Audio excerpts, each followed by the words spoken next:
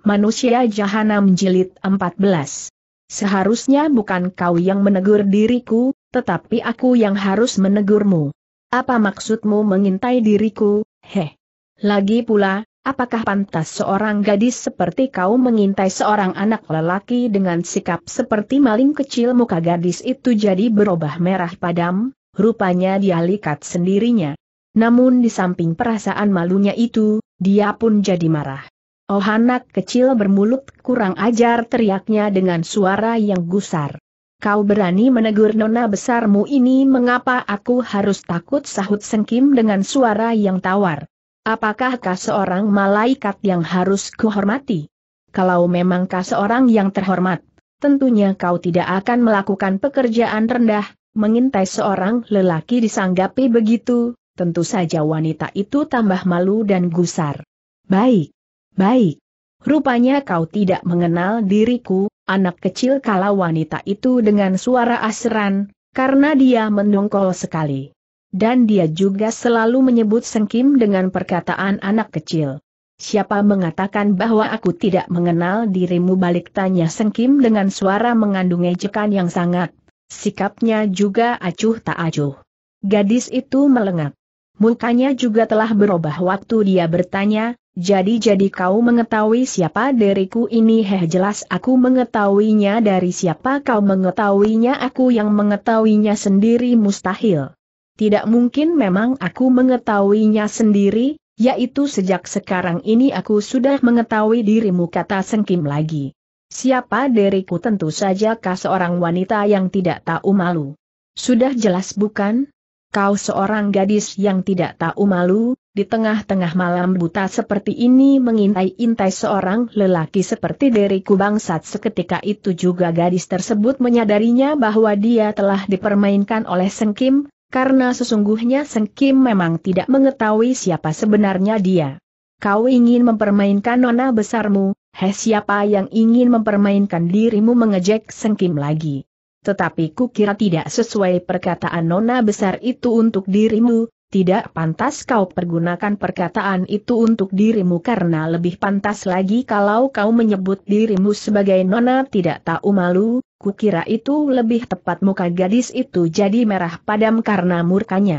Dia telah mengeluarkan suara seruan yang sangat yang nyaring, dengan cepat dia telah menggerakkan tangannya, dia telah melancarkan serangan ke arah Sengkim. Sengkim mana menganggap serangan dari gadis itu? Walaupun serangan itu tampaknya kuat dan bertenaga sekali, namun bukan merupakan serangan yang terlalu berbahaya. Biar bagaimana serangan itu tidak mengandung serangan yang mematikan. Hal ini menunjukkan bahwa kepandaian yang dimiliki gadis itu masih terbatas. Cepat sekali Sengkim telah mengelakkan dan dari serangan itu.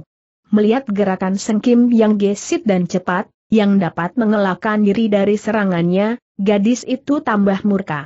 Dengan mengeluarkan suara seruan yang nyaring, dia telah melompat melancarkan serangan lagi beruntun ke arah Sengkim. Namun setiap serangannya selalu dapat dilakannya dengan mudah. Dengan sendirinya, mau tidak mau Sengkim jadi kena dibikin repot oleh serangan yang dilancarkan itu oleh si gadis. Tetapi disebabkan kejadian ini, membuat gadis itu di samping terkejut, juga jadi penasaran bukan main. Tadinya dia tidak memandang sebelah mata, terhadap kepandaian si anak kecil yang dihadapinya ini, namun setelah kenyataannya setiap serangannya itu selalu dapat dilakukan dan dihindarkan oleh Sengkim dengan mudah, membuat dia jadi kaget dan terheran-heran. Dia hampir tidak mempercayai penglihatan matanya bahwa si anak kecil yang tampaknya belum dewasa itu, dapat bergerak cepat dan gesit, malah dengan mudah diri si gadis seperti dipermainkan oleh si anak kecil ini. Biasanya, si gadis selalu bersikap congkak, karena dia merasakan dirinya memiliki kepandaian yang tinggi, dan lagi pula memang dia pun belum pernah menemui tandingannya di kampung kecil tersebut, membuatnya dia tinggi hati dan kepala besar. Biasanya gadis ini tidak pernah mau mengalah terhadap siapa pun juga. Tetapi menghadapi Sengkim, dia jadi mendongkol dan penasaran bukan main, namun dia mendongkol dan penasaran tanpa berdaya. Karena biarpun dia telah mengempos semangatnya dan mempergencar serangan-serangannya, tetap saja dia tidak berhasil mendesak Sengkim. Malahan tampaknya Sengkim selalu bergerak seenaknya saja. Setiap gerakannya selalu begitu cepat dan gesit, seenaknya saja dia dapat menghindarkan diri dari setiap serangan si gadis. Malahan si gadis itu pun menyadarinya kalau dia bertempur terus dengan cara begitu, niscaya dirinya akan kena dirubuhkan Sengkim. Sekarang gadis cilik itu baru menyadarinya bahwa si anak kecil yang tadinya dipandang tidak sebelah mata olehnya, ternyata bukan anak kecil yang tidak mempunyai guna. Malahan si anak kecil ini merupakan seorang anak kecil yang berbahaya. Dengan sendirinya, dia jadi penasaran berbareng jari juga. Cepat sekali gadis itu telah mempunyai rencana lainnya. Dia telah mengerahkan semangatnya, menyalurkan tenaga dalamnya pada kedua telapak tangannya, kemudian melancarkan serangan dengan tangan kirinya, sedangkan tangan kanannya merogoh saku bajunya. Sengkim melihat Carol menyerang gadis ini tertawa dingin. Dia menduga bahwa si gadis sengaja melancarkan serangan dengan tangan kirinya itu sedangkan tangan kanannya itu merogoh saku bajunya jelas akan mengambil senjata rahasia. Maka dari itu, Seng Kim berlaku lebih waspada, walaupun dia tidak jari menghadapi apa saja yang akan dilakukan oleh gadis itu. Dengan mudah serangan tangan kiri gadis si Udi lakannya. Malahan Seng Kim telah membarengi dengan kepretan tangan kanannya ke arah punggung si gadis. Maksud Seng Kim dia ingin mendorong rubuh tubuh si gadis. Namun belum lagi tangan Sengkim sempat mendorong bahu gadis itu maka tampak tangan kanan si gadis telah bergerak cepat. Dia telah menimpukan sesuatu ke arah muka Sengkim. Sengkim memang telah menduga bahwa dirinya akan diserang oleh senjata rahasia. Dia mencoba mengelakkannya dengan memiringkan kepalanya ke kiri. Namun untuk kagetnya dia memperoleh kenyataan bahwa yang ditimpukan oleh gadis itu bukanlah berbentuk senjata rahasia. Melainkan merupakan bubuk-bubuk putih yang sangat terang berkilauan terkena cahaya rembulan. Lagi pula bubuk putih itu telah bertebaran dengan menyiarkan bau harum menusuk hidung. Di saat itulah hati Sengkim tercekat. Dia merasakan, pasti ada sesuatu yang tidak beres, karena biar bagaimana dia merasakan bahwa tepung bubuk yang bertebaran itu bukan senjata rahasia yang umumnya dipergunakan. Lagi pula dia dapat mencium hawa harum yang bertebaran menerjang hidungnya. Dengan sendirinya, dia jadi kaget dan cepat-cepat telah berusaha untuk menghentikan jalan pernapasannya agar hawa harum itu tidak terhirup olehnya. Tetapi terlambat karena hawa udara yang mengandung bau harum itu telah kena diciumnya. Seketika itu juga, yang membuat Sengkim tambah kaget, pandangan matanya jadi kabur. Juga yang lebih-lebih membuatnya terkejut adalah tubuhnya menjadi lemas, semangat dan tenaganya seperti juga telah meninggalkan tubuhnya. Pandangan matanya yang berkunang-kunang itu menimbulkan rasa pusing pada kepalanya, sehingga dia mengetahui ada sesuatu yang tidak beres pada hawa udara yang mengandung hawa harum itu. Sedangkan gadis itu telah melompat menjauhkan diri dari Sengkim. Sengkim sendiri sebetulnya jadi gusar bukan main merasa dirinya telah diperdaya demikian rupa oleh si gadis, karena dia menduga bahwa bau harum itu pasti merupakan semacam racun yang dipergunakan oleh gadis tersebut untuk merebut kemenangan dari lawannya.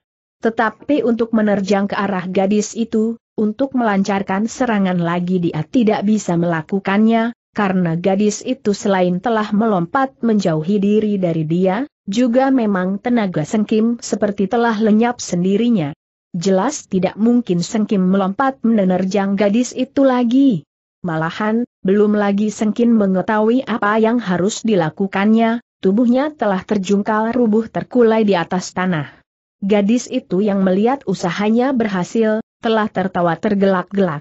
Setelah puas tertawa tergelak-gelak begitu, gadis ini segera menghampiri Sengkim yang rebah di atas tanah tanpa dapat bergerak, karena seluruh tenaganya seperti telah lenyap dari tubuhnya. HMMM, sekarang kau baru mengetahui kehebatan dan kelihayan dari nona besarmu kata si gadis dengan suara mengejek. Seng Kim biarpun telah rubuh di atas tanah tanpa memiliki tenaga lagi akibat terpengaruh oleh bekerjanya racun yang disebarkan oleh gadis itu, yang mungkin merupakan obat bius, telah mengawasi mendulik, dia tidak bisa melakukan sesuatu apa pun juga. Kesadarannya tetap penuh, tetapi dia tidak memiliki tenaga dan tidak berdaya untuk melakukan sesuatu apa pun juga. Si gadis setelah puas tertawa, segera juga mengulurkan tangannya. Tanpa likat atau canggung-canggung, gadis itu telah mengempit sengkim, lalu dibawanya lari meninggalkan tempat tersebut. Gerakan gadis itu cepat sekali, gesit bukan main. Tubuhnya mencelat berlari-lari di kegelapan sang malam. Sengkim yang berada di dalam kempitan gats itu mengawasi arah yang dibawa oleh gadis tersebut. Tetapi yang sudah jelas, bahwa Sengkim kali ini telah menjadi tawanan si gadis.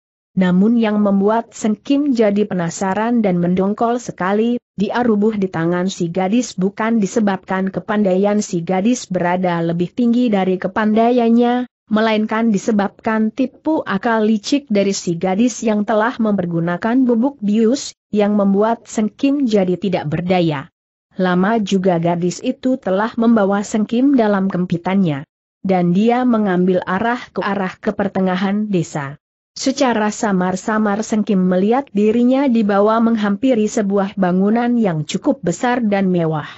Kalau dilihat sepintas lalu saja, bangunan tersebut seperti bangunan tua.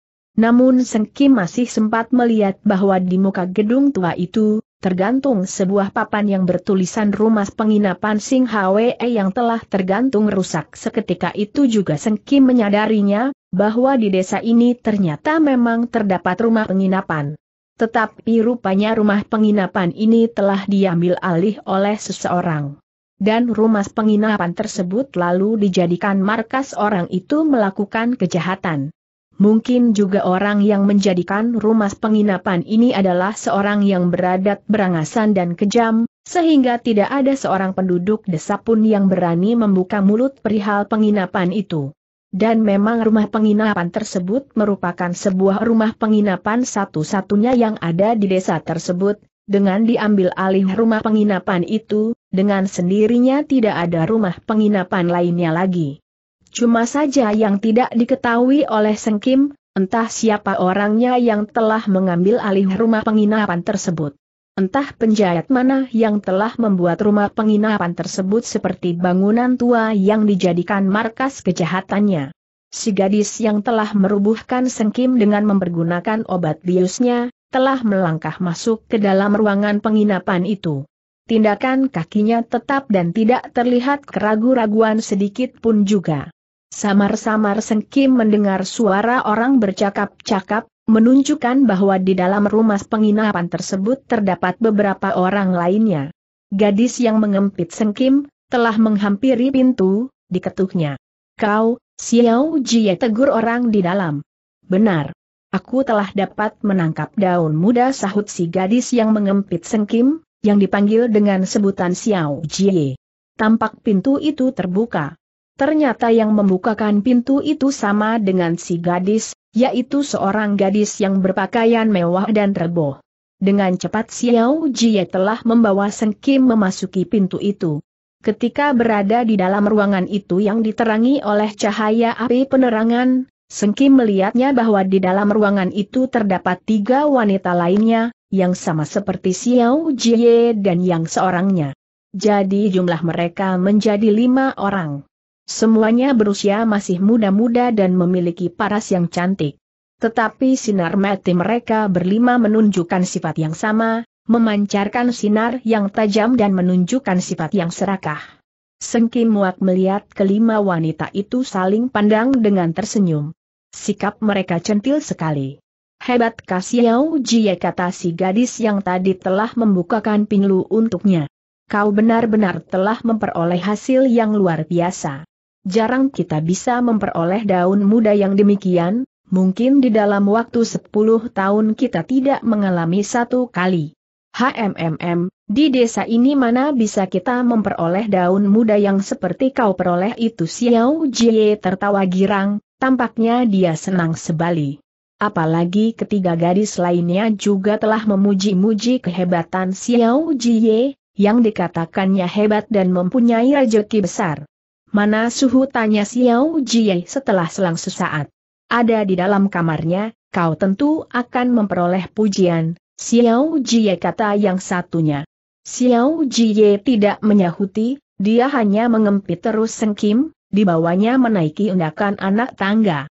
Dia telah menghampiri sebuah kamar. Diketuknya pintu kamar itu. Suhu panggilnya dengan suara yang menghormat. Siapa terdengar suara wanita menegur dari dalam. Xiao Jia ingin menghadap pada suhu untuk menyerahkan daun muda daun muda. Kau berhasil memperoleh daun muda terdengar orang bertanya dari dalam itu dengan nada suara yang girang. Benar suhu cepat sekali daun pintu terbuka tampak seorang wanita berusia di antara 35 tahun keluar dari kamar itu. Tetapi wajahnya cantik sekali terang dan bersinar. Begitu melihat Sengkim yang dikempit oleh Xiao Jie, dia mengeluarkan seruan girang, Hai, hai, kau benar-benar mempunyai rejeki yang besar memuji wanita setengah baya itu dengan suara yang girang. Xiao Jia juga memperlihatkan sikap dan wajah yang girang mendengar pujian gurunya. Letakkan di situ. Cepat bawa masuk kata sang guru lagi dengan suara yang girang bukan main. Jangan takut, kau tentu kebagian terima kasih suhu Xiao Jia telah membawa masuk Sengkim ke dalam kamar. Kamar itu ternyata merupakan sebuah kamar yang bersih dan juga harum sekali. Sengkim yang berada dalam kempitan Xiao Jie, jadi heran bukan main. Sejak tadi dia tidak mengerti menyaksikan sikap dari wanita-wanita itu. Entah apa maksud mereka menangkap dirinya, dan juga mereka tampaknya begitu girang dengan dapatnya menangkap Sengkim. Tubuh Sengkim diletakkan di pembaringan yang terdapat di kamar itu. Pembaringan tersebut mempunyai spray dari sutra warna putih. Sengkim menduga-duga, entah dirinya akan disiksa bagaimana. Saat itu, wanita yang berusia 35 tahun itu, Guru Xiao Jie, telah menoleh kepada Xiao Jie, katanya, kau boleh pergi main-main dulu dengan nomor 14 katanya. Tetapi Xiao Jie telah menggelengkan kepalanya cepat-cepat tidak suhu, kalau memang suhu mengizinkan, biarlah aku menantikan giliranku pada daun muda ini kata Xiao Jie kalau memang sekarang aku main-main dengan nomor 14, tentu sudah berkurang nikmatnya nanti. Dan daun muda ini jatuh nomor berapa suhu sang guru berdiam diri sejenak, tetapi kemudian dia berkata, baiklah, kau boleh menunggunya sampai aku selesai, dan daun muda ini jatuh pada nomor genap, yaitu 20 terima kasih suhu. Kau boleh pergi baik suhu beritahukan kepada saudara-saudara seperguruanmu yang lainnya, kalau memang mereka mau main, boleh ambil nomor berapa yang mereka senangi akan Xiao Jie sampaikan suhu kata Xiao Jie. Setelah memberi hormat kepada gurunya dan memandang ke arah Sengkim sekali lagi dengan sorot mata memancarkan sifat serakahnya, Xiao Jie telah keluar dari kamar itu. Sedangkan wanita berusia pertengahan yang wajahnya masih cantik ini, telah cepat-cepat menutup daun pintu kamarnya. Sekilas Sengkim melihat bahwa tangan wanita ini agak gemetar waktu menutup daun pintu itu. Benar-benar rezekiku besar. Benar-benar Hokiai menggumam wanita itu berulang kali. Dan dia telah membalikan tubuhnya, Mi mandangi Sengkim, yang rebah di pembaringan itu. Sengkim juga balas menatap wanita itu dia tidak mengetahui, entah apa yang ingin dilakukan oleh wanita tersebut. Hanya yang dilihat oleh Sengkim, bahwa wanita ini sangat girang sekali. Siapa namamu? Engkau kecil tegur wanita itu kemudian dengan mulut tersenyum manis. Sengkim diam saja. Siapa namamu engkau kecil tegur wanita itu lagi sambil menghampiri pembaringan. Untuk kagetnya Sengkim, wanita ini telah duduk di tepi pembaringan. Oh dia akan segera menyiksa diriku berpikir Sengkim. Entah siksaan bagaimana yang ingin dilakukan terhadap diriku? Sedang Sengkim berpikir begitu, tahu-tahu tangan kanan wanita itu telah diulurkannya, dia telah mengusap muka Sengkim lembut sekali. Darah Sengkim mendesir. Oh dia-dia tidak menyiksa diriku tetapi dilihat caranya dia-dia adalah wanita cabul tiba-tiba Sengkim tersadar. Biar bagaimana Sengkim seorang anak yang cerdik sekali, yang memiliki kecerdasan yang bukan main. Dengan sendirinya, dia bisa melihat gerak-gerik wanita ini. Cuma saja di dalam usia seperti Sengkim ini memang tidak pernah memikirkan persoalan wanita dan lelaki, dengan sendirinya dia hanya tahu bahwa wanita ini wanita cabul, karena berani memegang mukanya. Siapa namamu? Engkau kecil tidak tahu. Jangan ketus begitu terhadapku, engkau kecil kau pun akan gembira dan senang. Bukan kata wanita itu lagi. Jangan banyak bicara, cepat berikan obat pemunah racun yang dipergunakan oleh muridmu kata Sengkim kasar sekali. Wanita itu tersenyum. Mudah saja ku berikan obat itu nanti setelah segalanya beres kata wanita itu. Katakanlah namamu, engkau kecil nanti ku beritahukan namaku aku tidak perlu namamu aku tahu, kau memang tidak memerlukan namaku, tetapi aku tetap akan memberitahukannya kata wanita tersebut.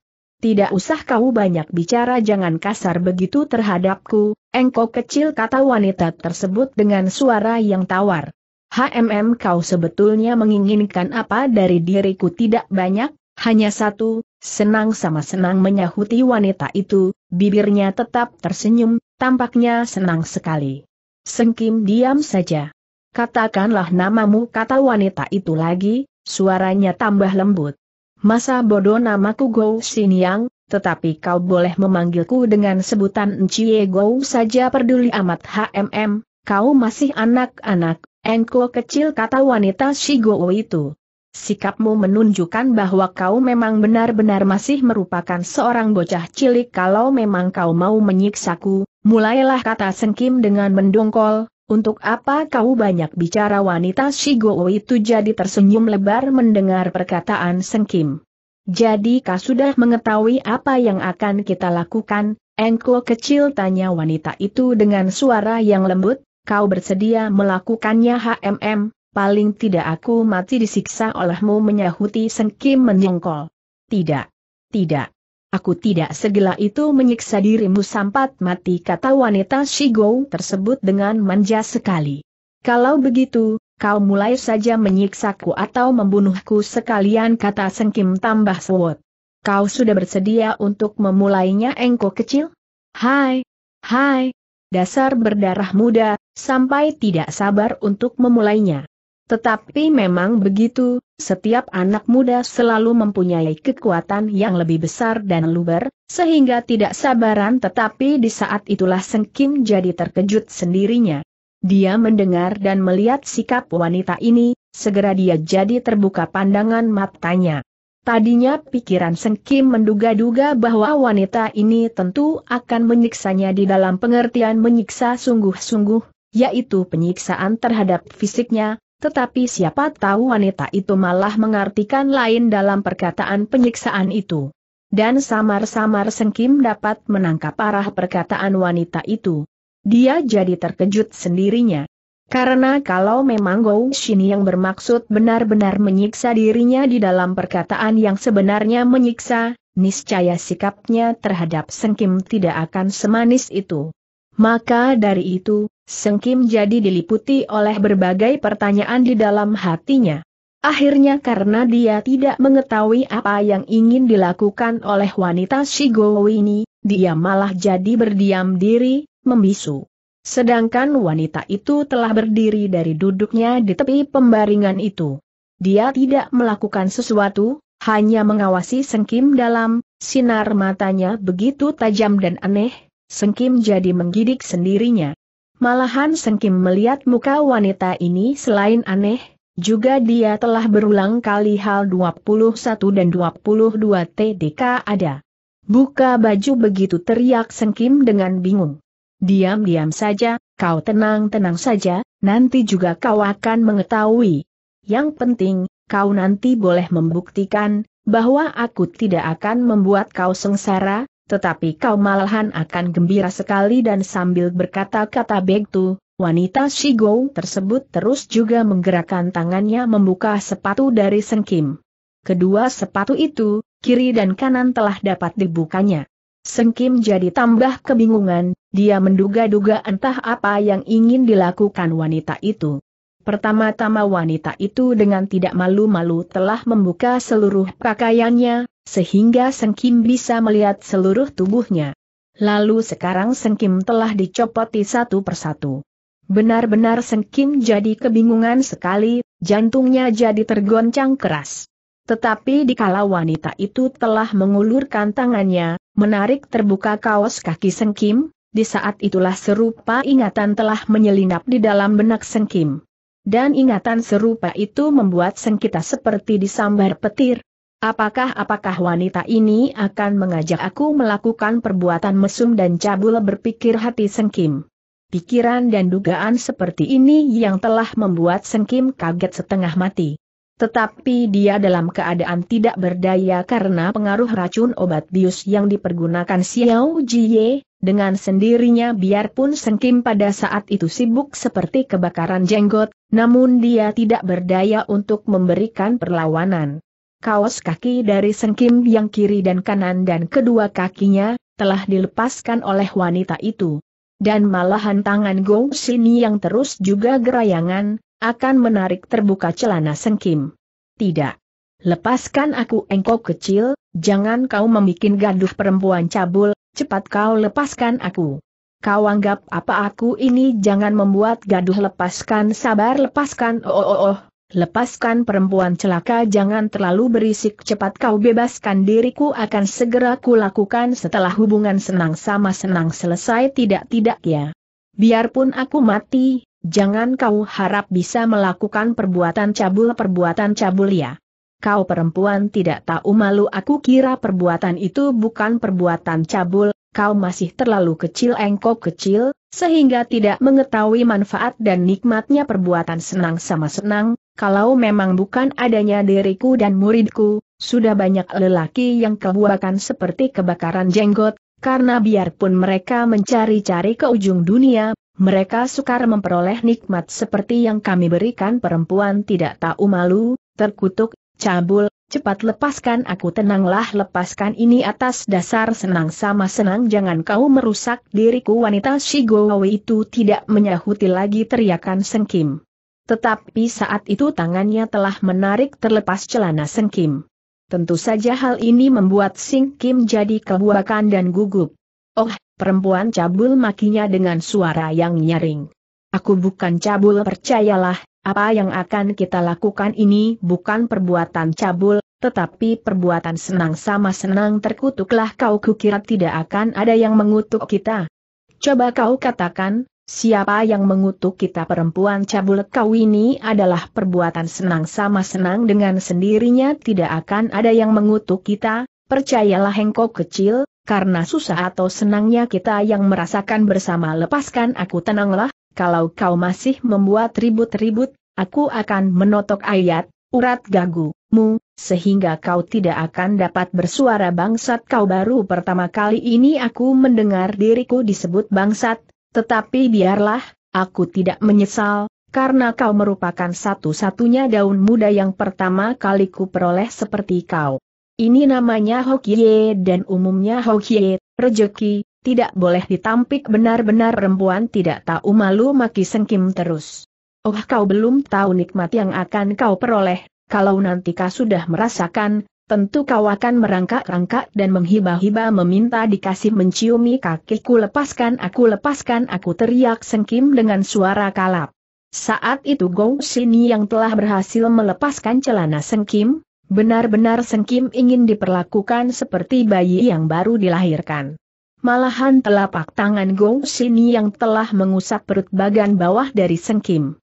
Seketika itu juga Sengkim merasakan semacam perasaan geli menggelegar di tubuhnya, usapan itu mendatangkan perasaan geli, karena yang diusap oleh wanita itu bagian yang sensitif perasa.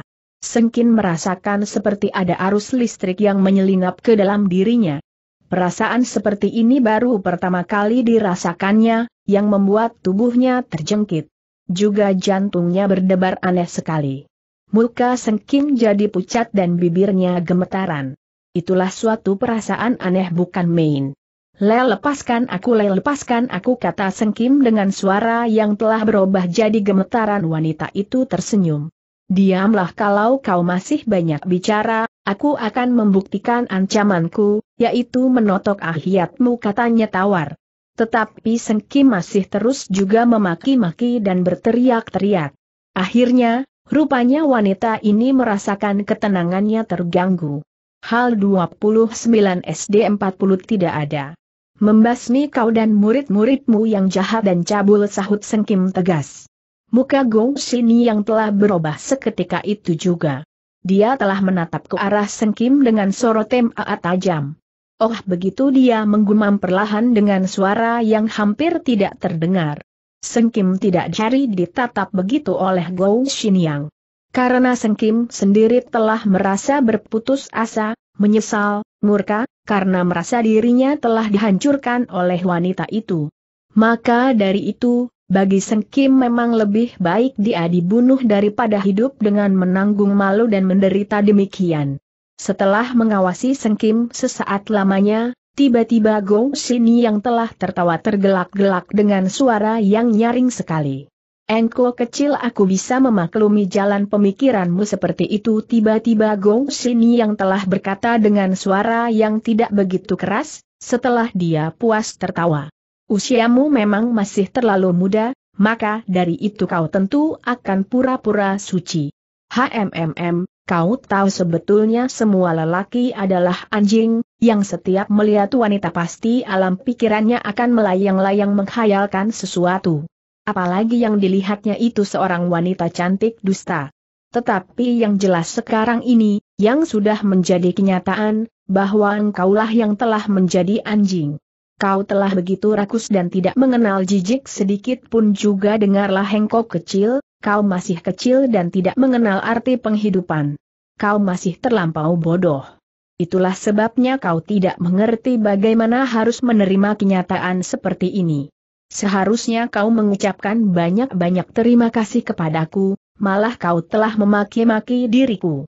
Tetapi mengingat usiamu yang masih kecil, mau aku memaafkannya, nanti setelah kau tahu sebenarnya dan mengetahui juga penghidupan dan kehidupan manusia di permukaan bumi ini, aku yakin kau akan lari terbirit-birit mengejar-ngejar diriku untuk menyatakan rasa maafmu mendengar perkataan yang diucapkan oleh Gou Xinyang, Sengkim bertambah gusar saja, karena biar bagaimana dia merasa telah dirugikan oleh perempuan ini.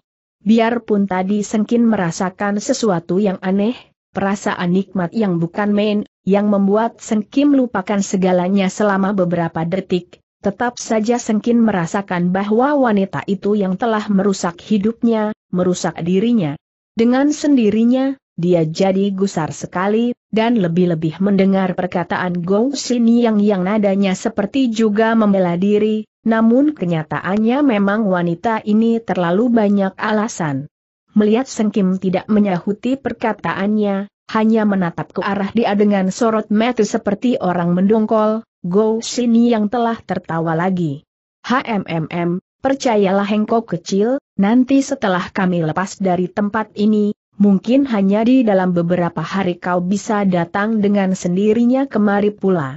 Semua itu hanya untuk memperoleh rasa nikmat yang pernah kau rasakan itu benar-benar perempuan tidak tahu malu memaki sengkim saking tidak bisa menahan perasaan murka dan penasarannya.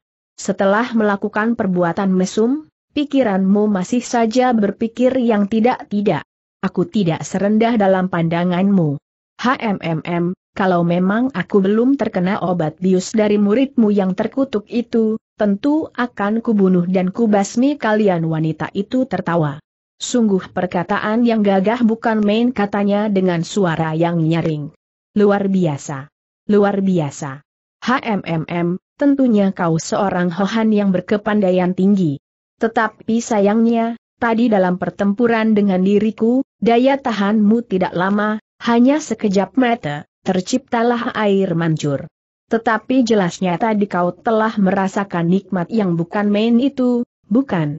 HMMM, terus terang saja ku katakan kepadamu, bahwa aku pun sebetulnya tidak kesudian melakukan hal-hal seperti tadi demi kepentinganmu, tetapi karena aku pun membunuh bibit hidup, sperma, dirimu, yang masih murni karena kau masih bujangan, anak baru besar, dengan sendirinya kulakukan juga perbuatan tadi. Kegunaan dari bibit hidupmu itu sangat berguna sekali bagiku, sangat kubutuhkan, karena selain dapat mempertahankan wajahku yang cantik ini agar tidak rusak oleh usia tua, juga dapat mempertinggi ilmu yang sedang kupelajari. Gila mengutuk Sengkim. HMMMM, sekarang kau bisa mengatakan perbuatan itu adalah perbuatan gila kata Gong Sini yang dengan suara perlahan. Tetapi kau lupa, bahwa perbuatan itu pula malah yang akan membuat aku sempurna, baik wajah dan bentuk tubuhku, yang akan tetap awet muda dan cantik, juga ilmuku yang akan sempurna. Sekarang saja kau tentu melihat dari wajahku, bahwa usiaku baru berkisar di antara 30 tahun lebih, tetapi sesungguhnya, aku telah berusia 73 tahun mendengar keterangan yang diberikan oleh Gou Xinyang, Sengkim jadi menggidik sendirinya, dia menggidik berbareng kaget setengah mati. Siapa yang akan percaya, bahwa wanita secantik Gou yang ini, yang tampaknya baru berusia di antara 35 tahun tetapi kenyataannya malah telah berusia di antara 73 tahun? Bayangkan saja, siapa pun juga tidak akan mempercayainya. Sengkim jadi memandang bengong saja pada diri wanita ini. Sedangkan Gong Sini yang telah tertawa dingin lagi. Maka dari itu, di dalam usia seperti diriku ini, sudah tidak terdapat lagi hawa nafsu cabul yang seperti kau katakan itu, karena aku sudah tidak membutuhkan pula rangsangan nafsu kebinatangan. Namun, yang kubutuhkan adalah bibit hidupmu itu, yang bisa membuat aku panjang umur dan tetap awet muda, di samping untuk menambah menyempurnakan ilmuku sengkim berdiam diri sesaat waktu Go Shin yang menatapnya tetapi kemudian terlintas di dalam pikiran Sengkim serapa ingatan.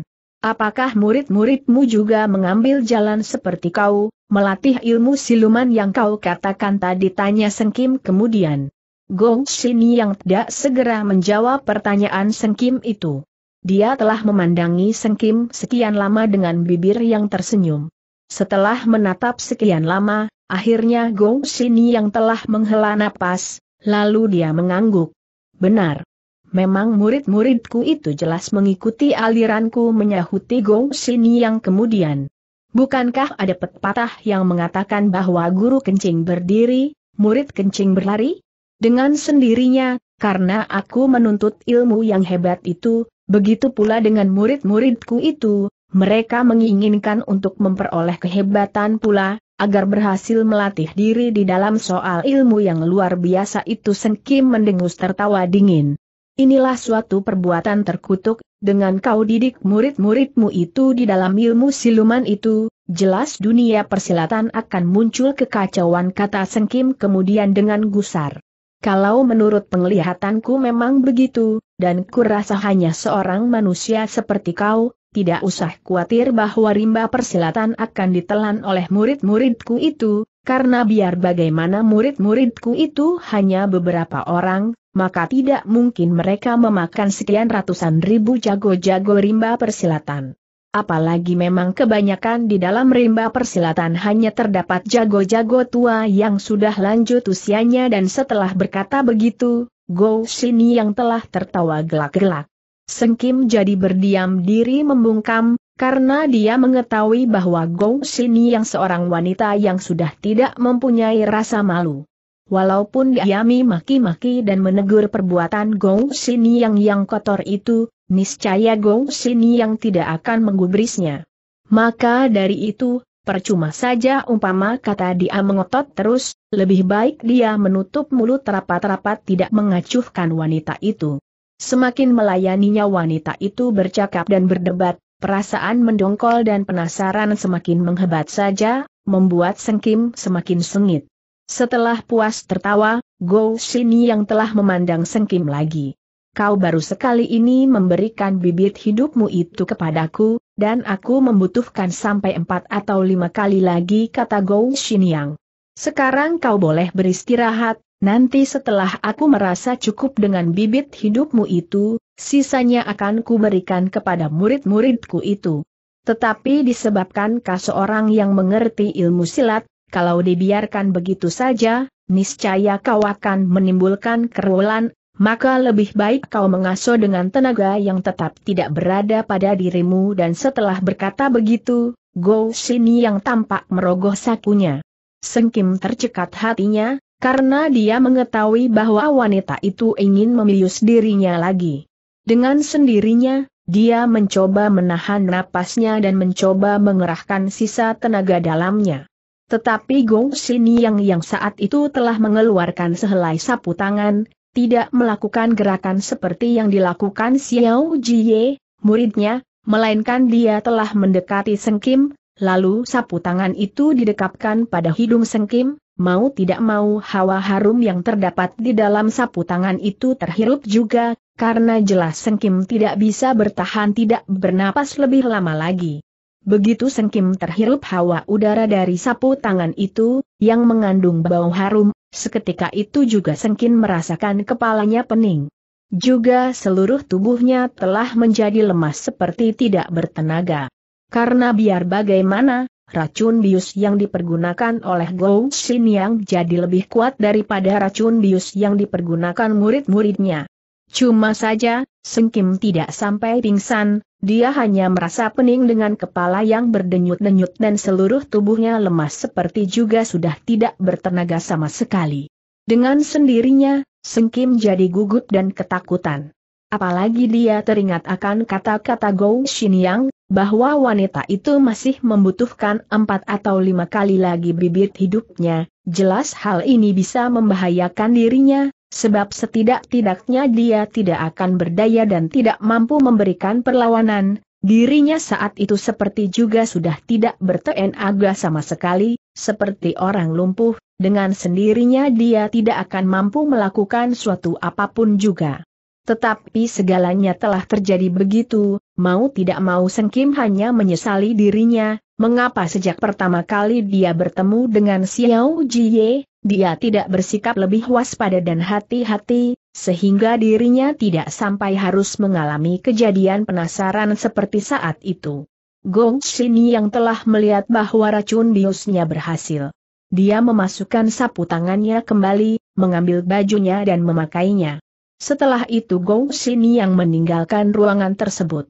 Sengkim tetap rebah di atas pembaringan itu dalam keadaan yang tidak tertutup sehelai benang pun juga, sehingga membuat Sengkim tambah mendongkol dan gusar saja, sebab Gong Sini yang telah seenaknya saja meninggalkan dia dalam keadaan begitu. Padahal tidak seharusnya Gong Sini yang membiarkan Sengkim dalam keadaan begitu, karena bisa saja wanita ini mengambil baju Sengkim dan memakaikannya. Lama juga Sengkim rebah terlentang di atas pembaringan itu dalam keadaan begitu. Keadaan sunyi sekali, dia hanya mendengar samar-samar terkadang suara tertawa Xiao Jie dan kawan-kawannya yang lain, menambah kemarahan di hati Sengkim. Yang membuat Sengkim tidak mengerti, mengapa di dalam dunia bisa terdapat perbuatan seperti itu. Dia memang sering mendengar cerita-cerita mengenai Nieko Cabul atau Hwasyo Cabul dari orang-orang kepandaian ayahnya, sewaktu dia masih berada di gedung ayahnya, tetapi mengapa wanita biasa ini juga bisa melakukan perbuatan terkutuk seperti itu? Yang membuat Sengkim terheran-heran dan tidak bisa mencarikan jawabannya atas keterheranannya itu, ialah menurut keterangan dari Gou Xinyang, bahwa usia wanita itu telah mencapai 73, tetapi wajahnya masih tetap cantik dan seperti wanita berusia di antara 30 tahun lebih. Apakah memang benar bahwa bibit hidup dari seorang lelaki dapat memberikan khasiatnya sebagai obat awet muda dan panjang umur? Inilah yang tidak bisa terjawab oleh Sengkim, karena di dalam persoalan ini benar-benar Sengkim gelap dan tidak mengerti. Namun kenyataannya memang dia sudah hadapi dan lihat dengan mata kepala sendiri, lagi pula malah dia sendiri yang telah merasakan akibat dari perbuatan Gou Xinyang, sebab diri Sengkim yang dijadikan boneka-bonekaan. Apalagi kalau memang Sengkim teringat kepada perkataan Gou Xinyang, bahwa nanti setelah Gou Shin yang puas melakukan segalanya terhadap diri Sengkim, maka Sengkim akan diserahkan kepada murid-muridnya. Itulah yang lebih parah lagi. Akibatnya tentu akan lebih hebat lagi dirasakan oleh Sengkim.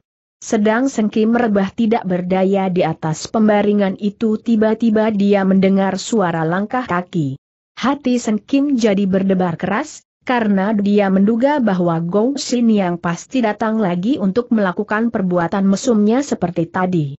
Dengan mempergunakan sudut matanya Sengkim mengawasi ke arah pintu. Dia melibat pintu itu telah didorong terbuka oleh seseorang.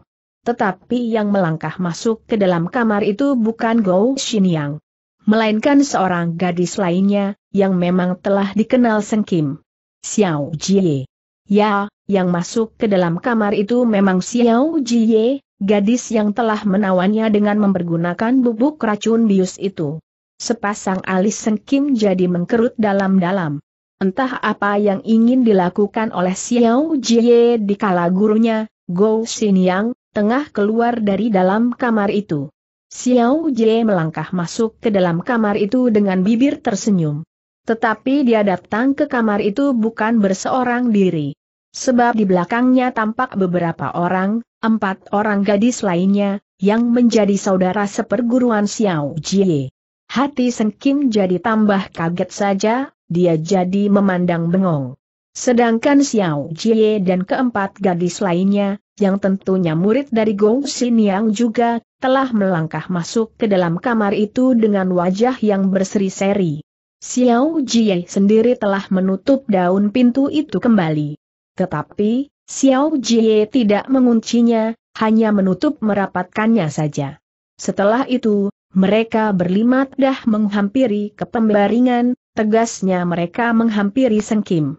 Bagaimana anak kecil, apakah kau telah memperoleh kenikmatan luar biasa dari guru kami? Tanya Xiao Jie sambil tersenyum dan matanya memandang genit sekali, dia masih tetap memanggil Sengkim dengan sebutan anak kecil membuat Sengkim jadi tambah gusar saja. Kalian perempuan-perempuan tidak tahu malu, dengan berbuat perbuatan yang terkutuk, tentu kalian semuanya akan dikutuk oleh Tian memaki Sengkim dengan suara yang nyaring. Xiao Jie dan keempat kawannya tidak menjadi marah mendengar makian yang dilontarkan oleh Sengkim kepada mereka. Malahan mereka telah saling pandang sambil tersenyum. Tampaknya seperti juga perkataan Sengkim itu mengandung sesuatu yang lucu. Kau mengatakan bahwa kami akan dikutuk oleh Tian, tetapi kau sendiri juga akan dikutuk oleh Tian kata Xiao Jie kemudian. Muka Sengkim jadi berubah tambah merah padam karena dia jadi semakin gusar saja. Jangan bicara sembarangan teriak Sengkim dengan suara yang nyaring. Kami bukan bicara yang mengaco balau kata Xiao Jie. HMMM, kalau memang perbuatan kami ini dianggap olehmu sebagai perbuatan terkutuk, apakah yang telah kau lakukan bersama guru kami itu bukan suatu perbuatan terkutuk juga, disanggapi begitu, Sengkim jadi terkejut sendirinya. Dia tidak menyangka bahwa dirinya akan ditegur begitu. Jelas hal ini memang sengaja diada-adakan oleh Xiao Jie, maka setelah tersadar dari melengaknya, Sengkim jadi tambah marah. Diriku mana bisa dipersamakan dengan diri kalian teriak Sengkim penasaran sekali kalau diriku hanya disebabkan tipu daya kalian, telah diperlakukan tidak baik tegasnya dalam tidak berdaya kalian telah melakukannya, menyeret diriku ke dalam dunia maksiat yang penuh dosa ini. Tetapi kalau kalian HMMM, yang jelas kalian adalah iblis-iblisnya yang telah tegas akan dikutuk oleh Tian kau yakin itu yakin HMMM, tetapi itu urusan kami tetapi Tian tetap akan menurunkan kutukannya, walaupun memang benar semua itu adalah urusan kalian, tetapi kalian harus mempertanggungjawabkannya kepada Tian, perbuatan dosa yang kalian lakukan itu malah telah menyeret-nyeret orang lain, sehingga banyak sekali korban-korban dari kemesuman kalian. Kau terlalu banyak bicara, anak kecil kata Xiao Jie yang menjadi mendongkol juga mendengar perkataan Sengkim. Itulah sebabnya dia telah memutuskan perkataan Sengkim dengan perkataannya, dia tidak menantikan sampai perkataan Sengkim habis diucapkan semuanya oleh pemuda cilik ini. Tidak tahukah kau, bahwa kami guru dan murid sebetulnya sedang mencari keabadian di dalam dunia ini. HMMM, malahan kami sedang menyelidikinya terus, bagaimana orang bisa hidup abadi di dalam dunia ini, dengan umur yang sangat panjang juga dengan muka dan bentuk tubuh yang tetap awet muda. HMMM, kami baru menemui sedikit dari obat-obat yang harus kami pergunakan itu.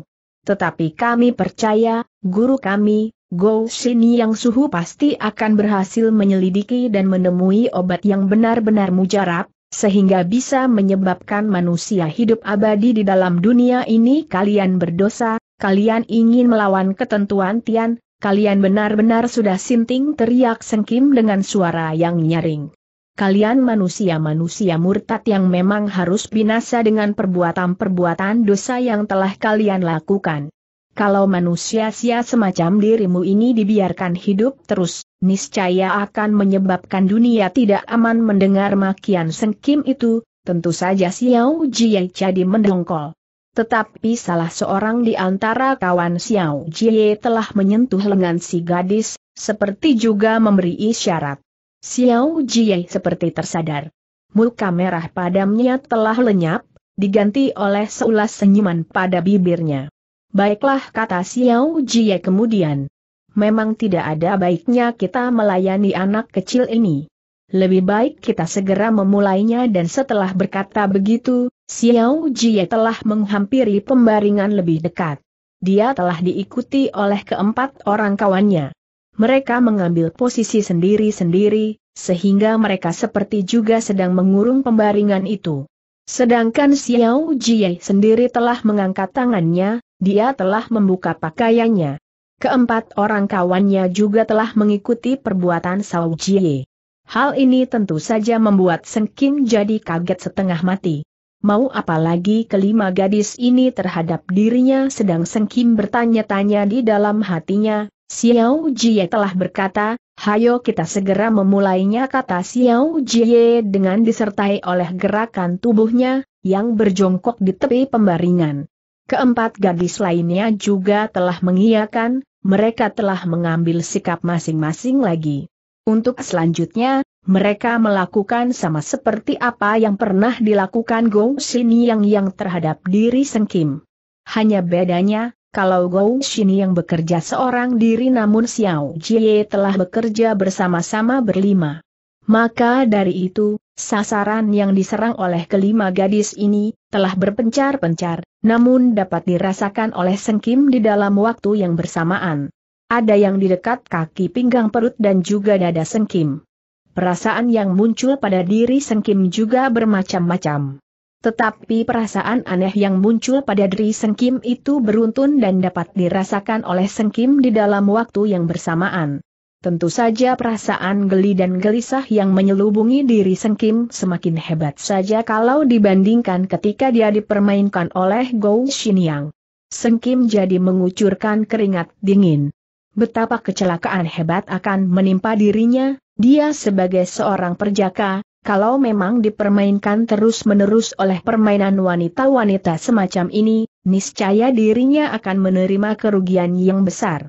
Dengan diambil terus-menerus bibit hidup yang terdapat pada dirinya, jelas Sengkim akan lesu dan berkurang tenaga iwakangnya karena semangat murninya juga telah berkurang dengan sendirinya. Itulah sebabnya, mengapa Sengkim jadi kebuakan dan gugup sekali.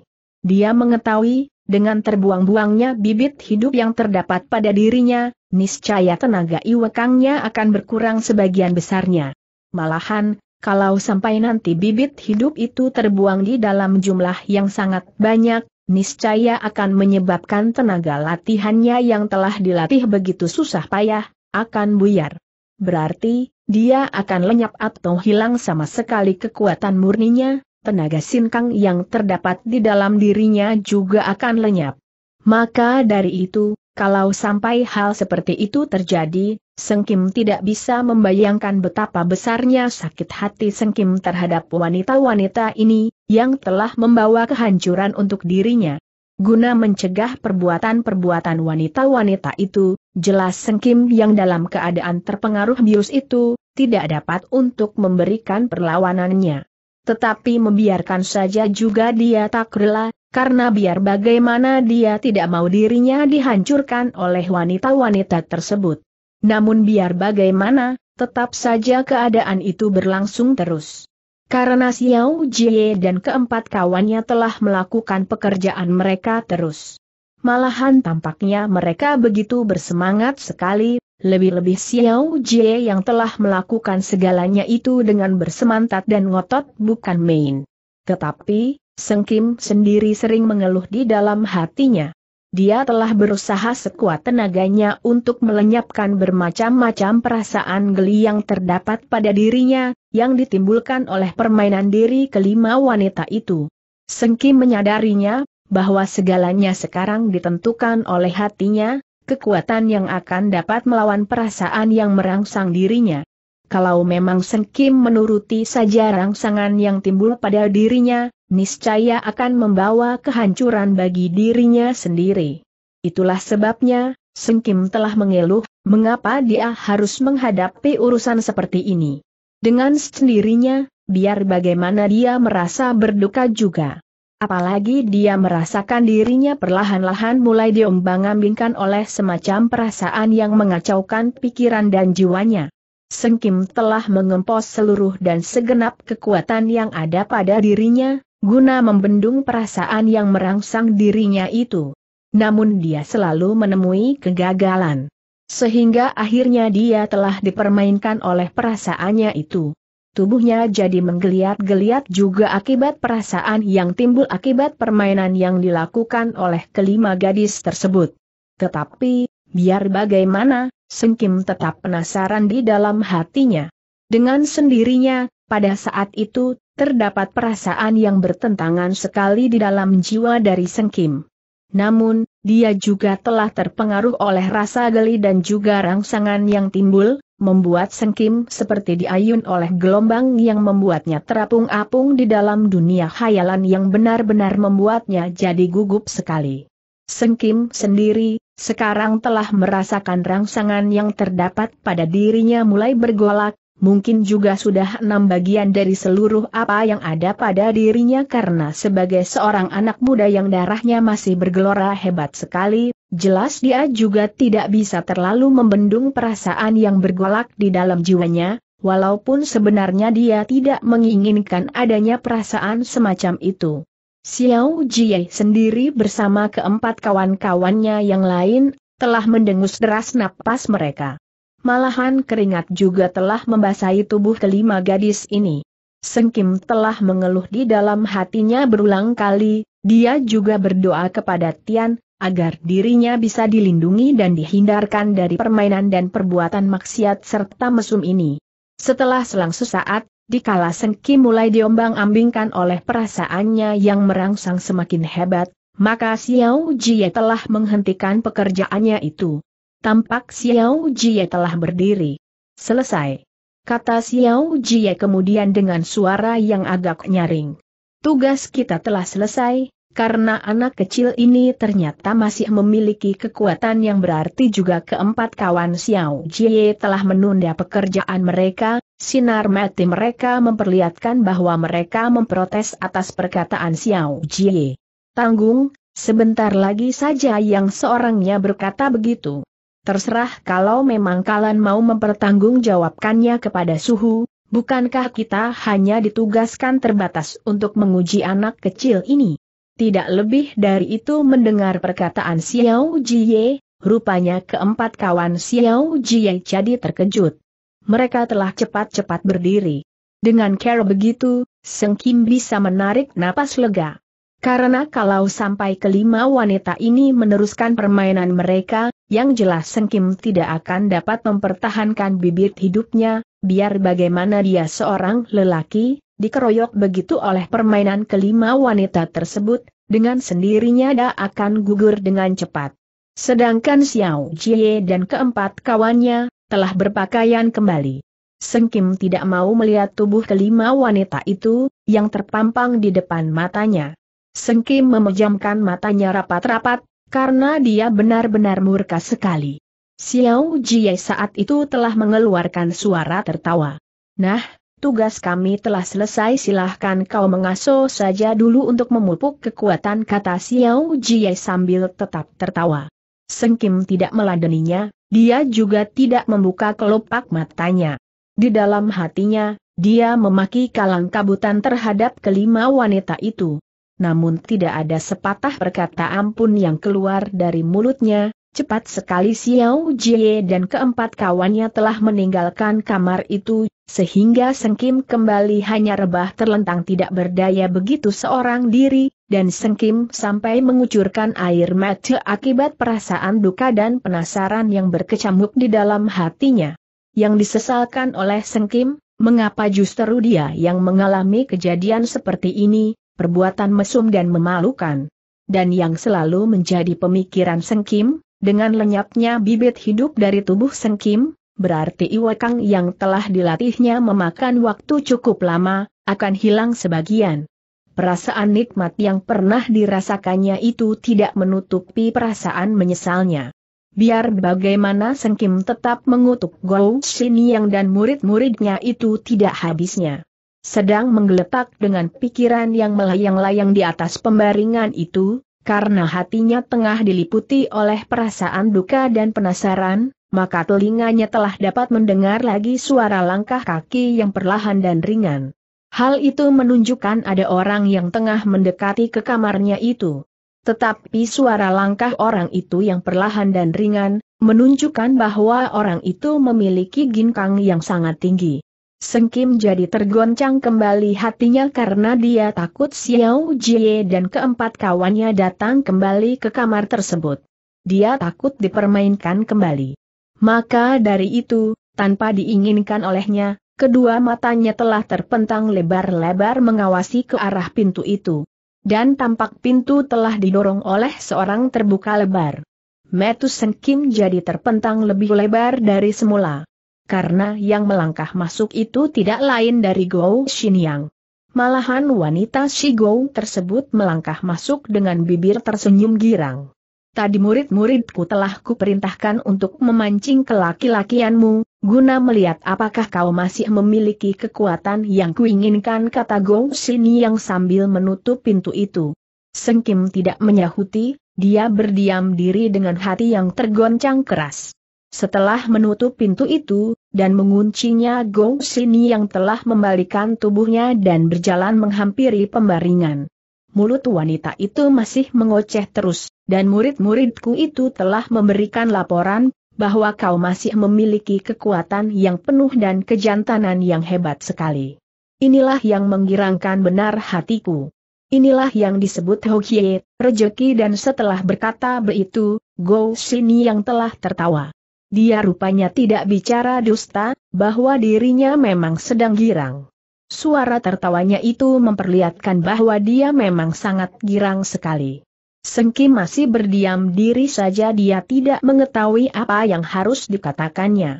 Dan yang membuat kepala serta telapak tangan dan telapak kaki Sengkim jadi dingin seperti direndam di dalam air es, adalah kedatangan wanita ini karena berarti dirinya akan mengalami suatu penyiksaan kembali.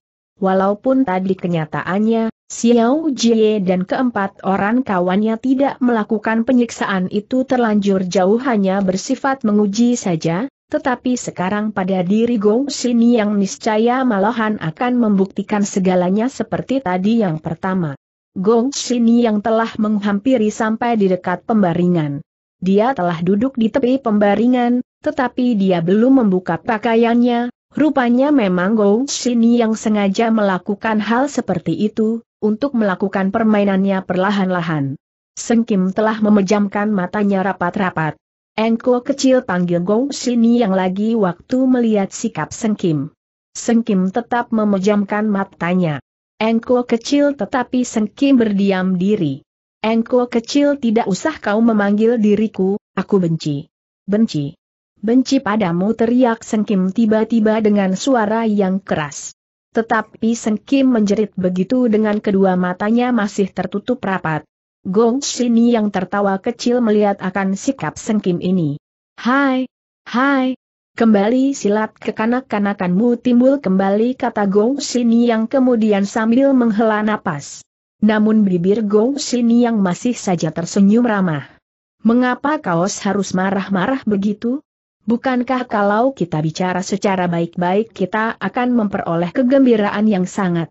Percuma saja kau marah-marah, karena segalanya toh akan tetap berjalan lancar tetapi dengan kau marah-marah seperti itu, berarti kau menyiksa dirimu sendiri dengan perasaanmu itu memang kalian wanita-wanita keparat dan mesum teriak sengkim.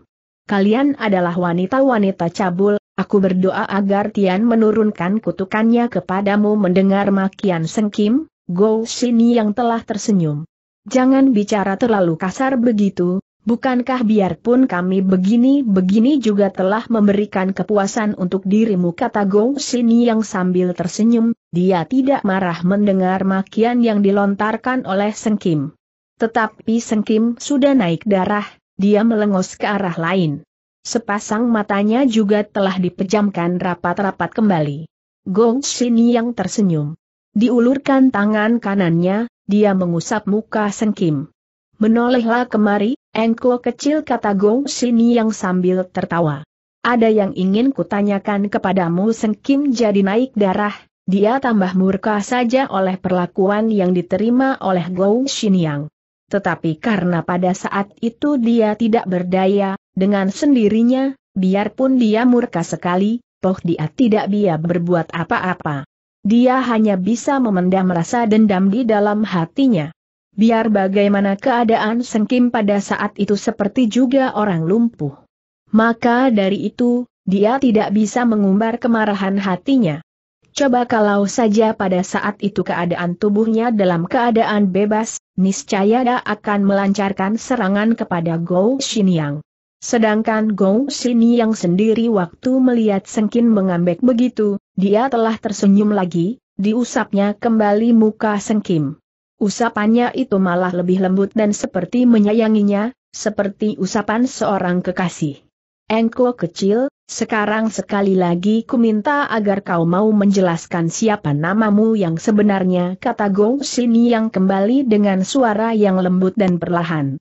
Jangan banyak bicara bentak sengkim gusar sekali, dia membentak begitu tetap dengan mata yang terpejamkan. Jangan banyak bicara tanya Gong Sini yang apakah kau memang sudah tidak sabar engkau kecil dan ingin melakukan permainan itu cepat-cepat tentu saja pertanyaan dari Gong Sini yang itu membuat darah sengkin meluap naik ke kepala. Biar bagaimana dia mengetahui bahwa Gong Sini yang memang sengaja ingin mempermainkan dirinya. Bunuhlah diriku teriak Sengkim dengan suara yang nyaring ketika dia memutar kepalanya menoleh kepada si wanita Shigo tersebut, bunuhlah diriku, janganlah kau merusak diri dan hidupku dengan perbuatan mesumu itu Gong Sini yang ternyata sabar sekali, dia tidak marah oleh perkataan yang diucapkan oleh Sengkim, malahan tersenyum. Membunuh dirimu. Apakah kau benar-benar sudah tidak menyayangi jiwamu dan ingin cepat-cepat mati, engkau kecil tanyanya. Disanggapi begitu, Sengkim jadi merandek, dia melengak. Jawablah. Apakah kau benar-benar telah bosan hidup tegur Gong Sini yang lagi? Sengkim saat itu menyadari bahwa Gong Sini yang bukan perempuan baik-baik, dia bisa saja membuktikan perkataannya. Maka dari itu, Sengkim juga menyadarinya, kalau dia telah mendesak untuk dibunuh, dan kalau memang wanita itu tersinggung, jelas dia memang bisa dibunuh oleh wanita Shigou tersebut. Melihat Sengkim tidak menyahuti pertanyaannya, Go Sini yang tertawa. HMMM, maka dari itu, kalau kau bicara jangan terlalu sembrono kata Go Sini yang lagi. Muka Sengkim jadi berubah merah padam, dia jadi nekat. Baik, baik. Kau bunuhlah diriku teriak Sengkim. Apakah kau kira aku dijari untuk mati perkataanmu itu benar-benar perkataan seorang Hohan kata Gong Xinyang. Daripada aku dihina, lebih baik aku mati saja teriak Sengkim memotong perkataan Gou Xinyang. HMMM, apakah kalau kau kebunuh, maka kau kira dirimu mati dalam keadaan bersih? Bukankah tadi sebelumnya kau juga telah melakukan perbuatan mesum itu bersama-sama diriku ditegaskan begitu, Sengkim jadi melengak kembali, dia kaget sendirinya. Karena apa yang dikatakan oleh Gou Shin yang mempunyai kebenarannya juga.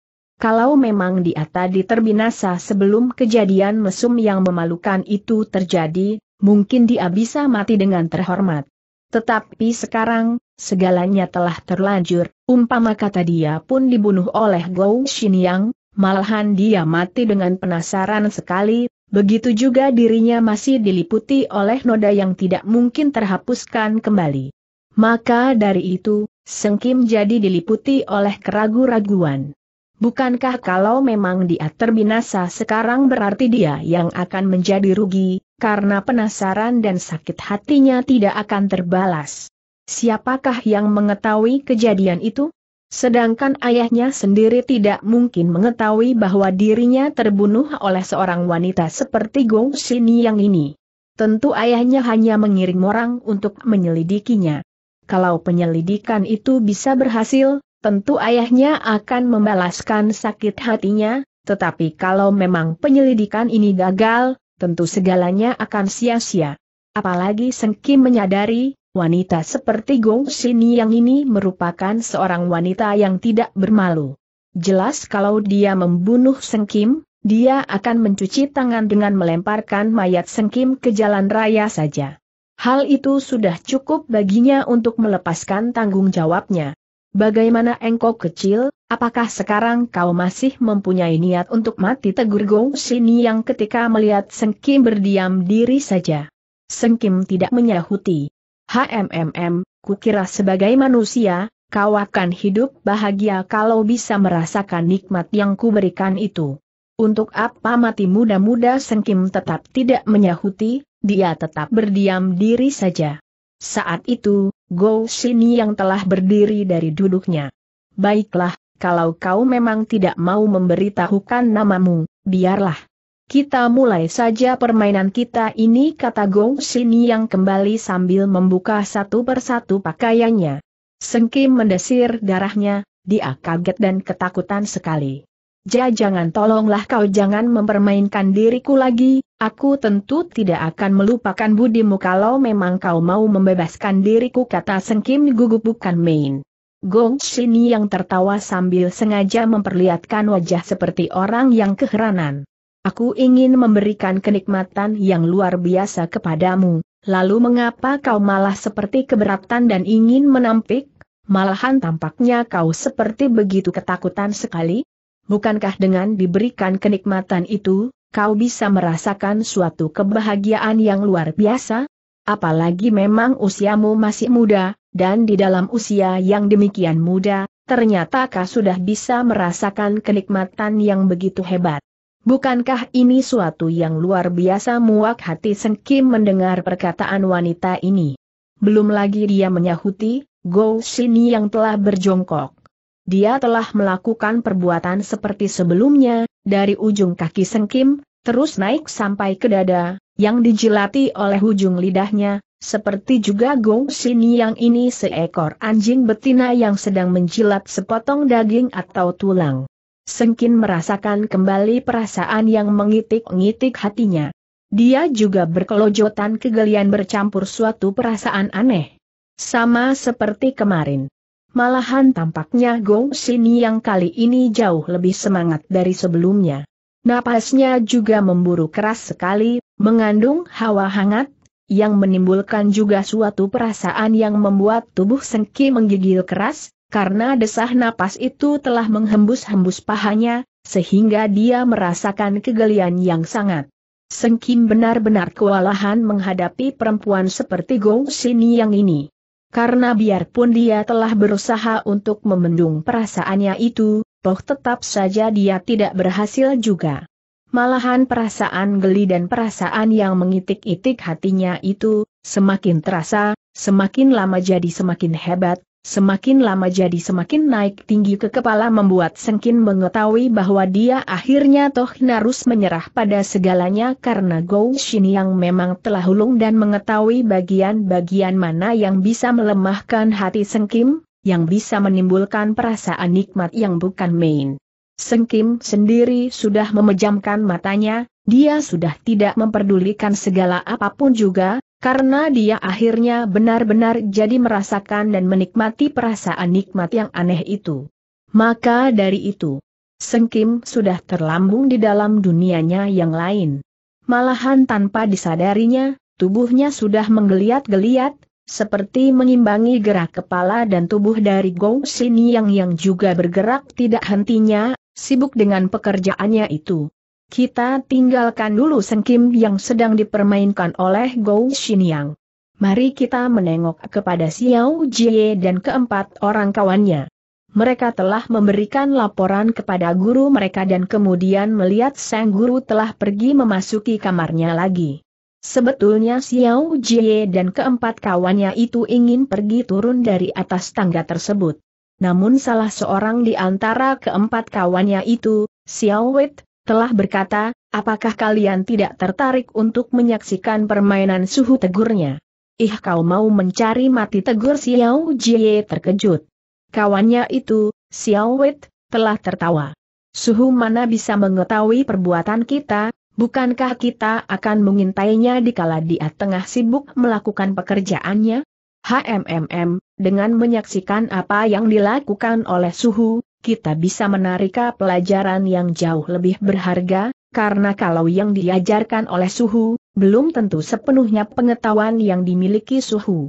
Tetapi kalau kita telah mengintainya dan menyaksikan dengan kepala dan mata sendiri tentu kita bisa melihatnya Ker Suhu mempermainkan korbannya Xiao Jie dan ketiga gadis yang lainnya jadi berdiri ragu-ragu karena mereka menganggap perkataan Xiao Wei memang ada benarnya juga.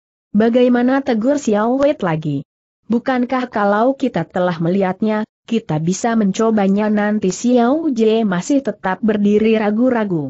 Sedangkan ketiga gadis yang lainnya telah mengangguk-anggukan kepalanya. Tandanya mereka menyetujui saran kawan mereka, tetapi mereka belum memberikan komentar. Rupanya ketiga galis itu menantikan keputusan Xiao Jie. Sedangkan Xiao Jie masih saja ragu-ragu. Tetapi kata Xiao Jie, dia tidak meneruskan perkataannya, hanya menatap ke arah keempat kawannya bergantian. Tetapi apalagi tegur Xiao Wei dengan perasaan tidak sabar. Kalau memang nanti suhu mengetahuinya bagaimana suhu bisa mengetahui tentu langkah kaki kita diketahuinya HMMM, kau bodoh Xiao Jie, tidak mau berpikir sedikit. Bukankah sudah kukatakan tadi, bahwa kita mengintainya di kala suhu tengah sibuk dengan pekerjaannya itu? Bukankah dia jadi tidak memperhatikan keadaan sekeliling dia? Apalagi sedang serunya. HMMM, seperti kau tidak pernah merasakannya saja, kalau memang kau sedang seru-serunya dengan korbanmu, bukankah ada gempa bumi juga kau tidak memperdulikannya Xiao Jie masih ragu-ragu saja. Bagaimana? Kita perlu ketegasan desak Xiao Wei. Aku takut apalagi yang kau takuti. Aku takut nanti dimarahi suhu. Kalau omong kosongnya nanti perbuatan kita diketahui oleh suhu, kita bisa saja memberikan alasan kepada suhu, bahwa kita toh muridnya dan dengan menyaksikan dengan mata kepala sendiri apa yang dikerjakan oleh suhu, bukankah hal itu bisa menambah pengalaman kita? Bukankah suhu menginginkan kita juga memperoleh kemajuan yang cepat? HMMM, kau terlalu jauh berpikir Xiao Jie, terlalu banyak bertele-tele Xiao Jie berdiam diri saja. Tampaknya Xiao Jie memang tidak bisa mengambil keputusan dengan cepat di dalam persoalan ini.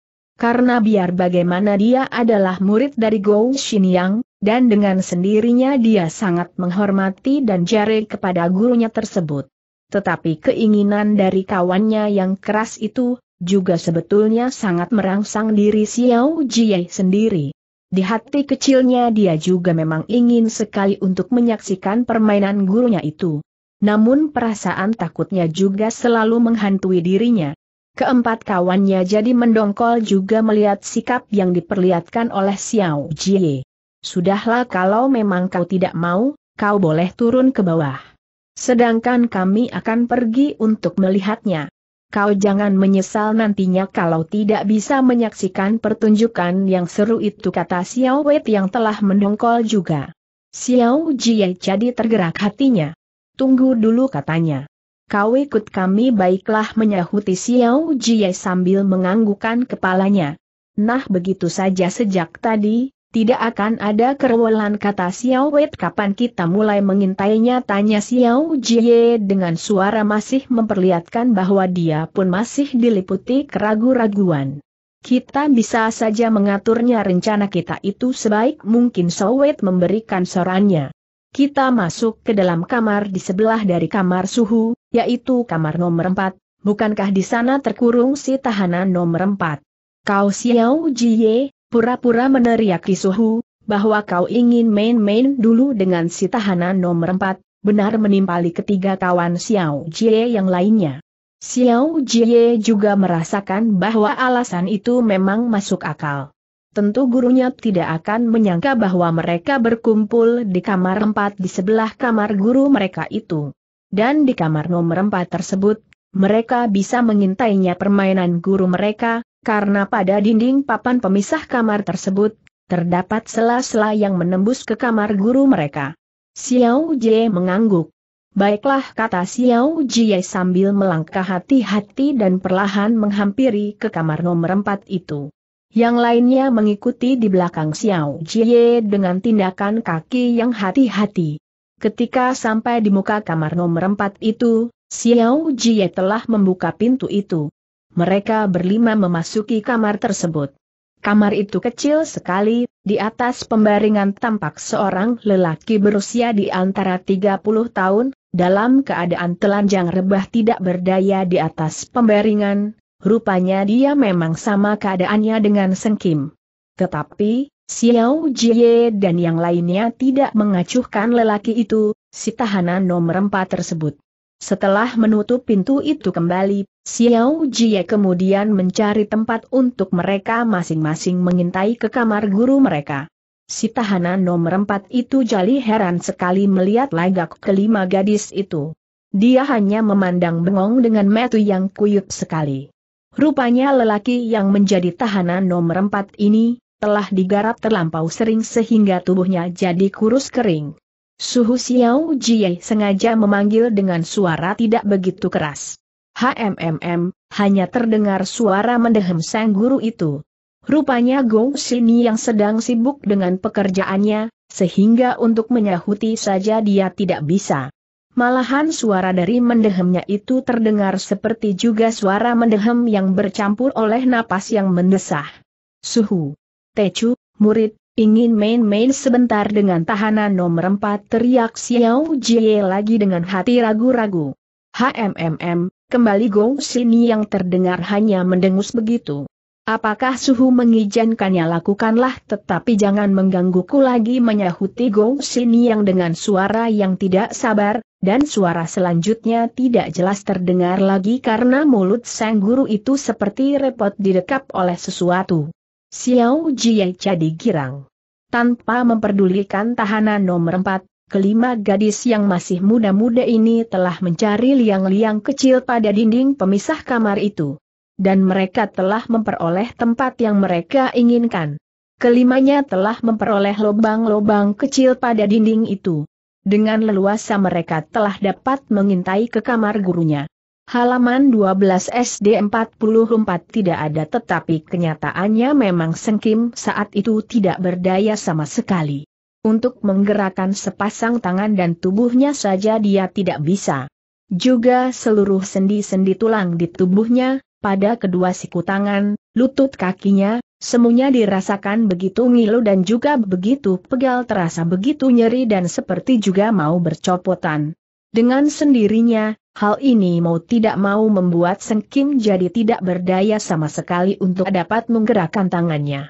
Umpama kata pada saat itu Seng Kim memaksakan dirinya menggerakkan tangannya untuk menghantam Gong Yang, niscaya akan gagal, dan berarti Gong yang akan luka dan juga malah bisa berbalik Seng Kim sendiri yang akan dibinasakannya.